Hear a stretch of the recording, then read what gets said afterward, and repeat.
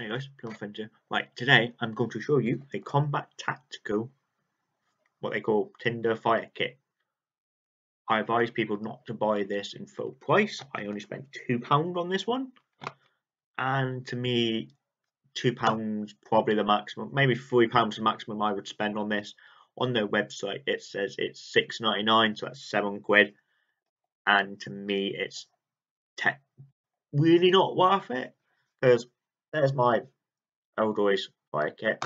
This is the one I've just put together for my belt of my rucksack. Did I show you an empty tin? So there's my one. Mine's pretty full. Theirs is not. So I'll go through this quickly.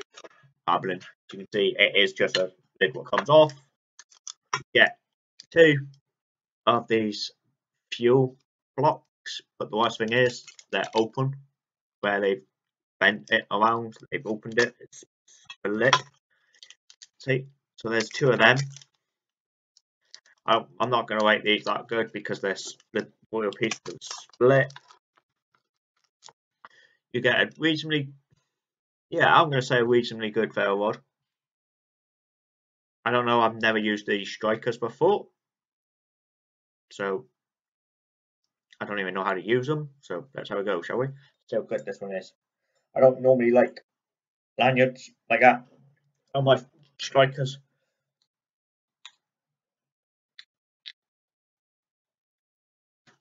Oh, it's quite good actually. Didn't expect that. But still, that's probably the only good thing about this kit is probably that. And probably the tin. And at the very bottom, it's just some cotton. Just basically cotton balls flattened. That's it. That's all what's in that tin, and they're selling it for six ninety nine. As I said, I'm a big Com Kombat UK tactical or Kombat UK person. As I said, I've already shown you this one. This is the boot cleaning kit. I've got loads of things on my rucksack. What's theirs?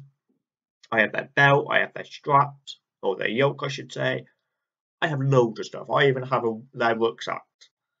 And this, I'm sorry, same as their survival tin. No, not worth the money. Don't pay for it. Don't buy it. That's my opinion. If you want to buy it, you can buy it. Right, I'm leaving it here, guys, because there's no point going on a bit more. Thank you very much for watching. We appreciate every second you watch to every minute.